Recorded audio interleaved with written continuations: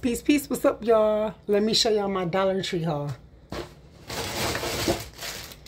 Some sponges.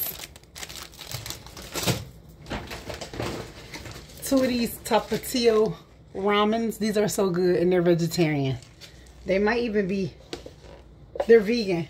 They're just spicy. It's hard to find vegan ramen onion soup mix.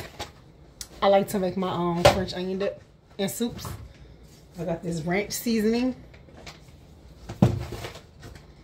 Some tape refills. I'm gonna see if this will, these will work on my um, dinosaur tape dispenser. I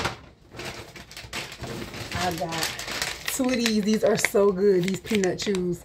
I was only able to find them at um Five Below, but they're at the Dollar Tree. I already ate most of this bag. I had to. Um, I almost ate all these honey Dijon kettle chips. These are delicious. what? Feminine care product.